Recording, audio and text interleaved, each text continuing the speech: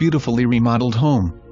Open kitchen with stainless appliances, living room with lots of natural light, hardwood and tile floors throughout, attached one-car garage. Must-see home.